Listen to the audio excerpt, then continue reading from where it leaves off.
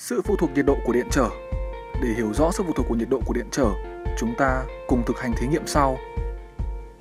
Đầu tiên, hãy mắc một bóng đèn có dây tóc kim loại 230V 60W và một bóng đèn với dây tóc bằng than 230V 60W với một điện áp 10V và sau đó là 230V rồi tiến hành đo điện trở bằng cách đo dòng điện và điện áp. Với điện áp 10V, các đèn không sáng, nhiệt độ của dây tóc không đáng kể. Với điện áp 220V, các đèn sáng. Trong trường hợp này, nhiệt độ của dây tóc cháy sáng rất cao. Điện trở của dây kim loại khi nguội thấp, nhưng khi nóng lên, điện trở sẽ tăng cao. Ngược lại, điện trở của dây tóc bằng than khi nguội lớn, nhưng khi nóng lên, điện trở sẽ giảm đi.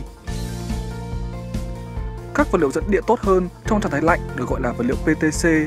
Ví dụ trong thí nghiệm này là dây kim loại, điện trở của chúng thay đổi theo hướng dương, nghĩa là tăng lên khi nhiệt độ tăng.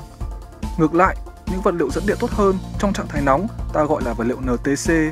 Ví dụ trong thí nghiệm này là dây bằng than, điện trở của chúng thay đổi theo hướng âm, nghĩa là giảm đi khi nhiệt độ tăng. Hiện tượng này được lý giải như sau. Khi được đun nóng, các nguyên tử dao động mạnh xung quanh vị trí của nó bên trong mạng tinh thể. Với trường hợp kim loại, các nguyên tử nắm sát bên nhau, sự chuyển động nhiệt của các nguyên tử ngăn cản mạnh hơn sự dịch chuyển của các electron tự do. Điện trở của các vật liệu này gia tăng với nhiệt độ PTC. Trong vật liệu than và bán dẫn, khi các nguyên tử dao động mạnh hơn, các electron tách rời khỏi các vị trí mạng tinh thể và trở thành các hạt tự do mang điện tích và do đó gia tăng sự dẫn điện của vật liệu. Hệ số nhiệt độ alpha cho biết khi nhiệt độ thay đổi một Kelvin, một điện trở một ohm sẽ lớn hơn hay nhỏ hơn bao nhiêu.